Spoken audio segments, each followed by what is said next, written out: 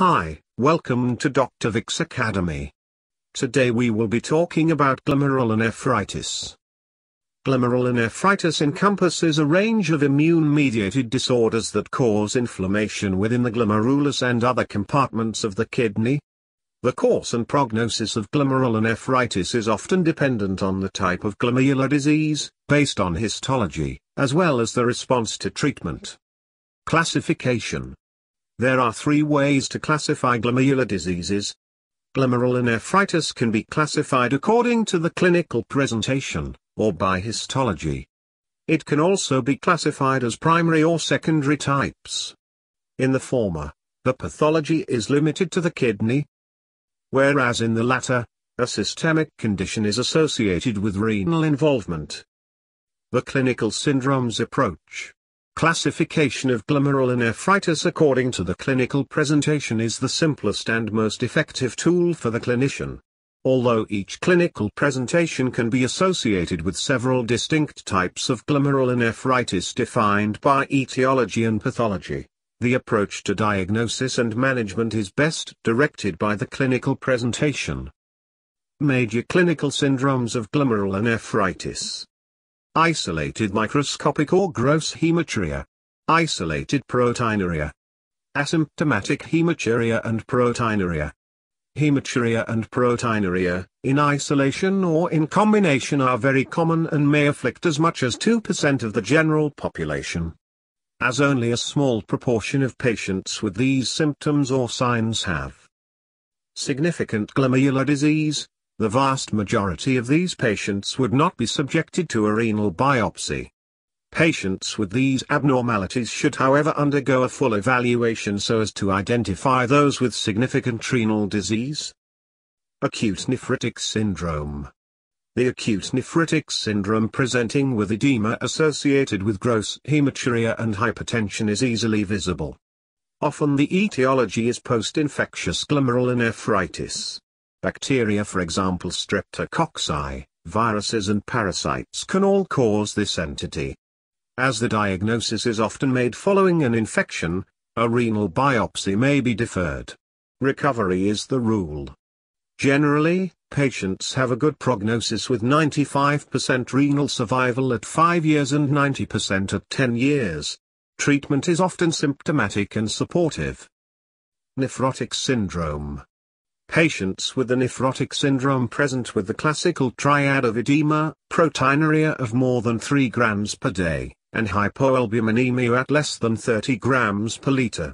Primary glomerulonephritis is the most common cause of this condition.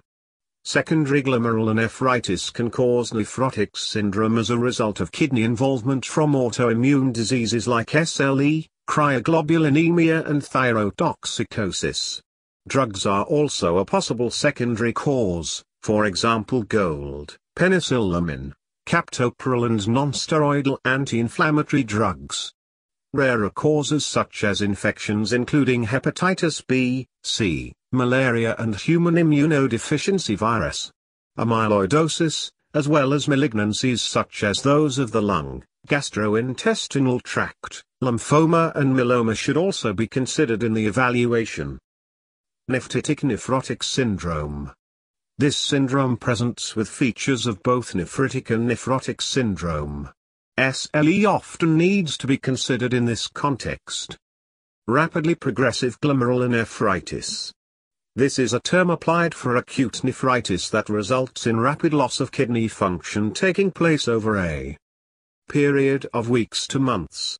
Rapidly progressive glomerulonephritis is a medical emergency, demanding urgent histological diagnosis and treatment to prevent renal failure. Goodpasture's syndrome and Wegener's granulomatosis are some conditions associated with this very severe form of glomerular inflammation. Histopathological classification Although the clinical presentation can often provide clues to the underlying glomerular pathology, a renal biopsy is often necessary as several glomerular conditions can result in the same clinical syndrome.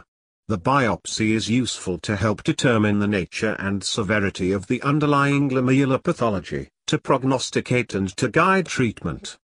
A simplified histopathological classification for primary glomerulonephritis is listed. Minimal change disease. Focal global sclerosis. Diffuse mesangial proliferative GN. Focal mesangial proliferative GN. Membranous GN. Mesangiocapillary GN crescenteric GN, also known as rapidly progressive GN. Focal and segmental glomerulosclerosis. Diffuse sclerosing GN. IgA comprising 45% of GN, is likely the commonest GN. Of note is that asymptomatic hematuria and proteinuria is the commonest mode of presentation of this condition. This would suggest that careful screening for glomerular disease and its early identification can lead to prompt and appropriate management. Strategies should be directed at managing the specific conditions so that their progression to end-stage renal failure can be ameliorated. Principles of treatment. The management of GN is often targeted at treat in several phases of the condition. General management includes treatment of hypertension, edema and hyperlipidemia. Specific treatment measures include those directed at the underlying pathology, as well as those directed at retardation of progression of renal failure. Often the glomerular pathology can be considered as progressing in two phases. Immunological phase the acute or early phase is referred to as the immunological phase, in which antibodies, immune complexes and cytokine-mediated mechanisms initiate glomerular injury. These immune-mediated mechanisms can be ameliorated by immunosuppressive drugs. Hyperfiltration phase. With progression of disease, a chronic or late phase occurs due to injury resulting from glomerular hyperfiltration glomerular hyperfiltration is associated with increasing proteinuria, elevated serum creatinine and hypertension. This phase is mainly supportive and is targeted at controlling hypertension and protein restriction. Evaluation and follow-up. Patients with glomerulonephritis should be evaluated to establish the type of glomerulonephritis, and identify its severity. Testing for baseline level of renal function and degree of proteinuria should be done. Renal biopsy and other investigations should be performed if indicated. Patients should then be followed up to assess progression of glomerulonephritis. Renal function, proteinuria and other markers should continue to be monitored on follow-up, as indicated by the type of glomerulonephritis and severity of condition. The severity of kidney disease should be identified based on these markers as the disease progresses over time. Specific therapy of glomerulonephritis should be instituted as indicated by type and severity of underlying condition. Patients with glomerulonephritis and more severe proteinuria, renal dysfunction or hypertension are at high risk for progression to end-stage renal failure. These patients should undergo evaluation by a nephrologist for renal biopsy and institution of specific measures to halt the progression of renal disease. General measures in the management of glomerulonephritis. The general measures in the management of glomerulonephritis are designed to ameliorate the pathophysiological processes contributing to progressive renal damage. Blood pressure management. Control of blood pressure has been demonstrated, to retard the progression of renal failure in virtually all forms of renal disease. Treatment of hypertension in patients with glomerulonephritis also reduces the risk for cardiovascular disease.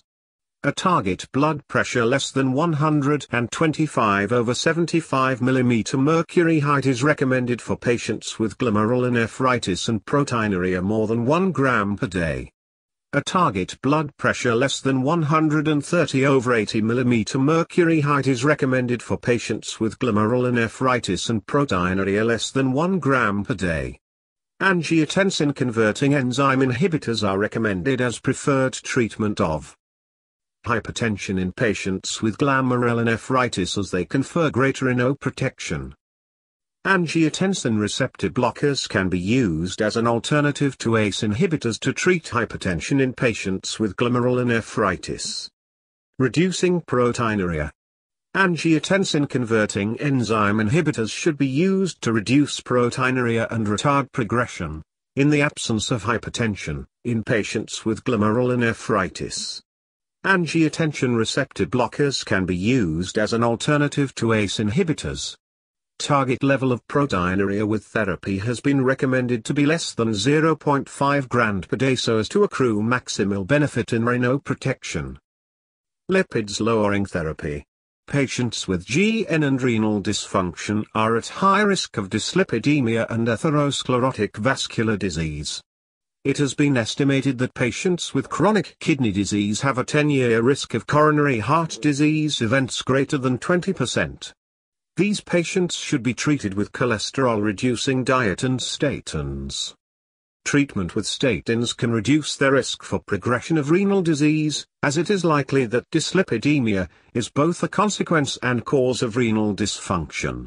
Targets for LDL cholesterol with therapy in patients with GN and renal dysfunction should be less than 100 mg per deciliter.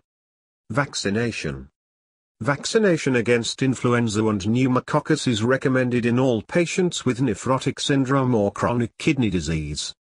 Attenuated viral vaccines are safe, however live viral vaccines are contraindicated in patients who are heavily immunosuppressed with steroid or other immunosuppressant. The response to vaccination in immunosuppressed patients may be decreased. Audio Jungle